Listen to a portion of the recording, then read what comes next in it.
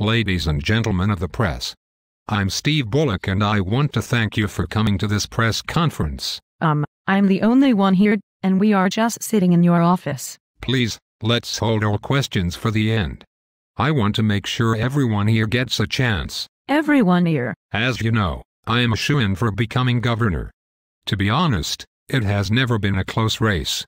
My opponent is likely sitting in his bedroom closet, curled up in the fetal position, listening to Eye of the Tiger while he cries himself to sleep. But the polls show it is a really close race. Hey, glasses, I told you to wait on the questions. Sorry. As I was saying, I will soon be anointed governor of Montana. As such, I would like the press to be ready to use my new title, His Majesty, King Bullock. King Bullock. I have been watching Game of Thrones on Netflix and really think the title of King fits me. I come from good breeding stock. I went to an Ivy League law school and I'm willing to do whatever it takes to win. I say, let's take out the checkerboard and king me. But, we live in a democracy. Yeah, right. Was this country a democracy when George Washington and Thomas Jefferson wrote their own rule book? Was it a democracy when the government staged the moon landing?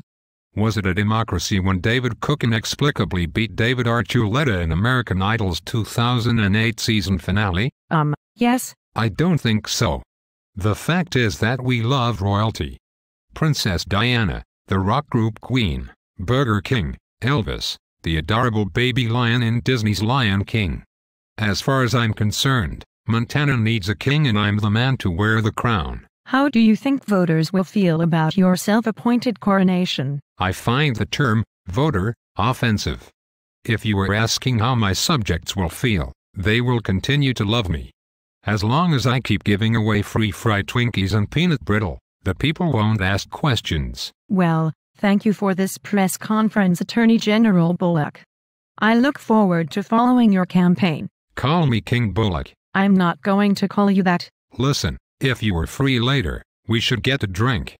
Have you ever seen the movie Braveheart with Mel Gibson? Yes. Are you familiar with the term prima nocte? King me.